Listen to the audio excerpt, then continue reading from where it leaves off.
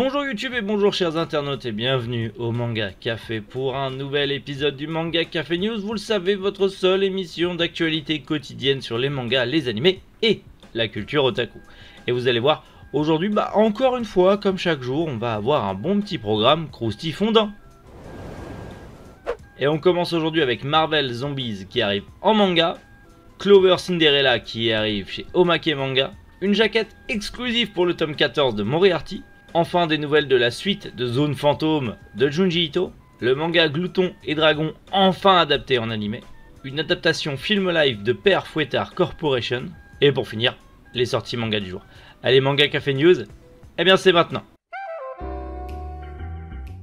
Marvel Zombie. Alors pas vraiment, enfin oui Marvel, mais surtout Avenger Zombie, Avenger Rassemblement. C'est pas du tout ce que vous pensez. Là du coup c'est les Avengers contre une invasion de zombies. C'est pas genre les Avengers qui deviennent zombies.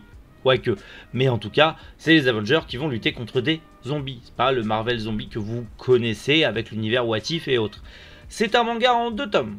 Donc c'est assez court. Le premier tome sort chez Panini Manga, alors plus Panini Comics pour le coup parce que c'est un manga mais dans la collection comics. En tout cas, ça sort, ça sort chez Panini le 17 août avec le premier tome au prix de 7,29€, donc prix d'un manga assez classique, et le deuxième tome devrait arriver courant de fin d'année. Donc comme je vous l'ai dit, c'est les Avengers qui se rassemblent pour battre des zombies.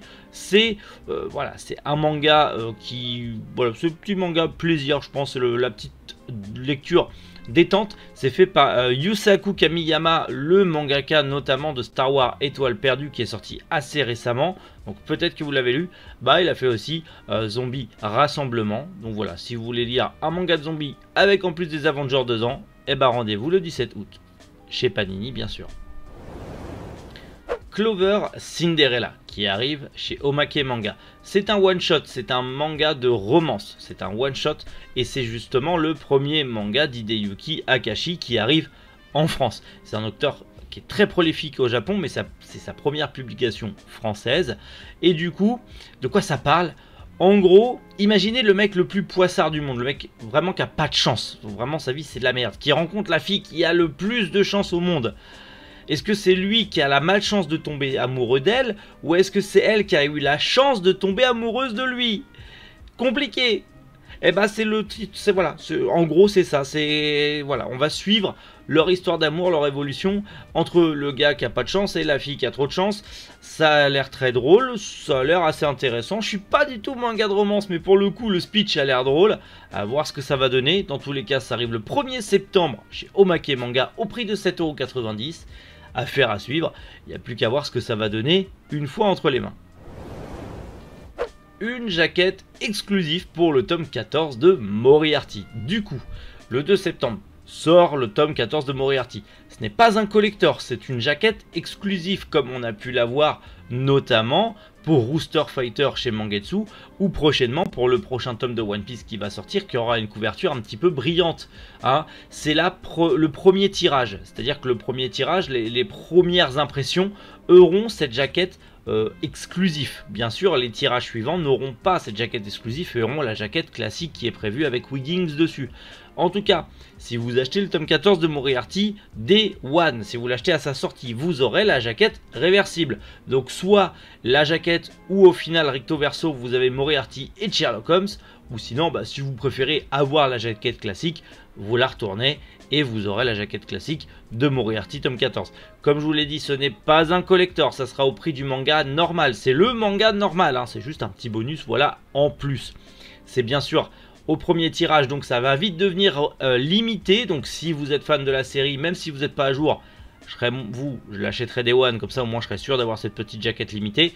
Et bien sûr, ne foncez pas tête bêche avec les scalpers qui vont sûrement doubler les prix. Ce n'est pas un collector, c'est juste une jaquette exclusive à tirage limité. Ça va devenir collector, mais ça l'est pas encore.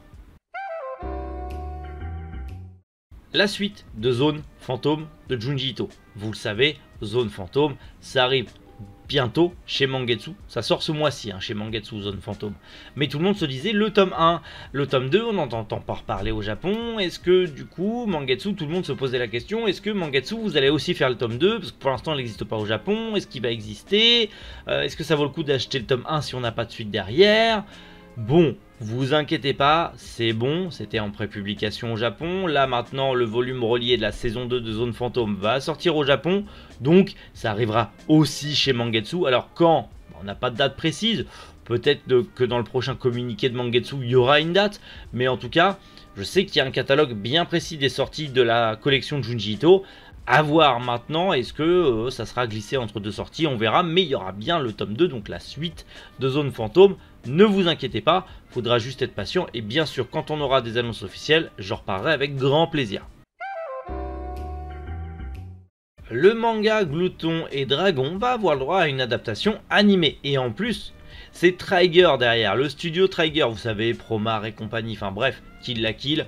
Euh, incroyable, hein en général leurs animés ça, ça, ça pète, ça envoie, c'est un bon studio d'animation. Et bien justement, vous connaissez peut-être Glouton et Dragon. C'est le manga en gros, si vous connaissez un peu Drifting Dragons, si vous avez lu Drifting Dragons, c'est un peu le même délire, mais dans un donjon du coup. En gros, euh, des aventuriers vont dans un donjon pour sauver l'une des leurs, mais ils se retrouvent à court de vivre, à court de nourriture par chance, ils vont rencontrer un nain qui vit dans ce donjon, qui se nourrit euh, de, des bestioles qui traînent dans le donjon. Donc en gros, ce nain va apprendre aux aventuriers à cuisiner toutes sortes de bestioles qui traînent dans le donjon.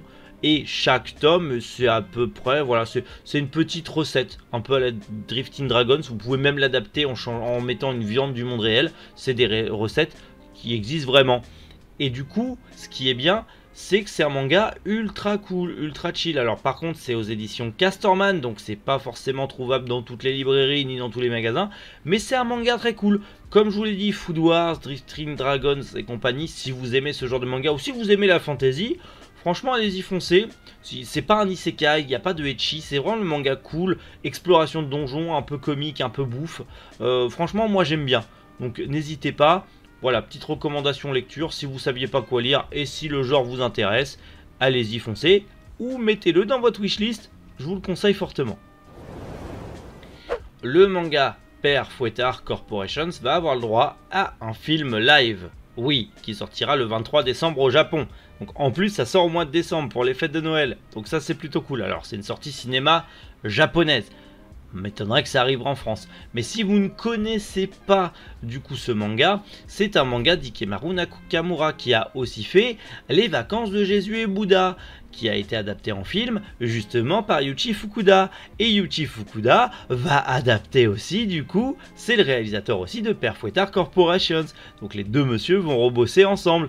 Et ça, ça fait plaisir parce que le film live, Les vacances de Jésus et Bouddha, bien que le manga est très cool, le film live était extrêmement cool. Hein, on va pas se mentir.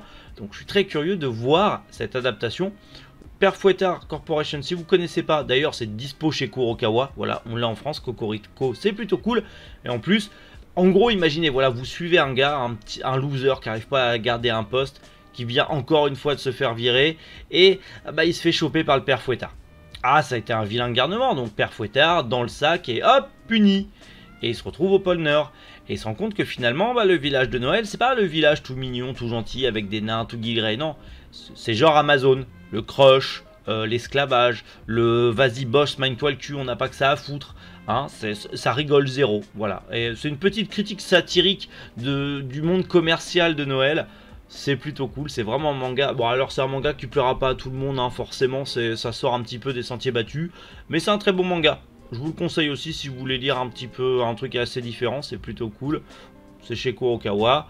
Encore une petite recommandation manga. C'est gratuit, ça fait plaisir. Allez, on passe aux sorties manga du jour aujourd'hui aux éditions Kiyun avec le 26e tome de A Certain Magical Index, le 12e tome d'Isaac et le 9e tome de The Killer Inside. Sortie manga, petite sortie manga, mais sortie manga quand même. Après, c'est le mois d'août, c'est un petit peu plus chill, c'est un peu plus calme. Donc il y a moins de trucs qui sortent, mais c'est des mangas sympas. Moi, je vais continuer The Killer Inside. Et vous, est-ce que vous allez acheter des mangas aujourd'hui? On en parle en commentaire. Et surtout, quelles ont été les news que vous avez préférées aujourd'hui? On en parle aussi en commentaire. Et sinon, je vous donne rendez-vous demain matin 7h pour le dernier manga Café News de la semaine. Et ouais, ça passe vite, mais vous inquiétez pas, on va s'amuser aussi ce week-end. Prenez soin de vous, passez une excellente journée, pensez à boire de l'eau parce qu'il fait chaud. C'était Méric. Boujou, les internautes.